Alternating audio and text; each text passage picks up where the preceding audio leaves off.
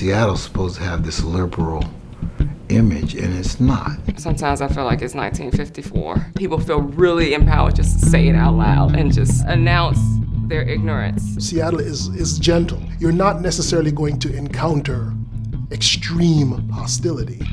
You're going to encounter many layers of subtlety. What that also means is that it's under your skin annoying. If you're talking about race and you're not uncomfortable, you're probably not having the right conversation. There's tension attached to this conversation. It's unfortunate that we consider it difficult conversations to have. We throw out the word race or racism, and people, I think, uh, hear that in so many different ways. I think a lot of people are scared to be called a racist or of using or exploiting their white privilege or causing a microaggression or whatever it is. All of these terms just contribute to an oversimplification. We'll often just give them their own meaning, kind of make them just buzzwords. A lot of these terms are constantly used but never really unpacked, and people are interpreting them in quite different ways than the people who are, are speaking them. So, like, maybe we do take a tiny bit of time to define what we mean,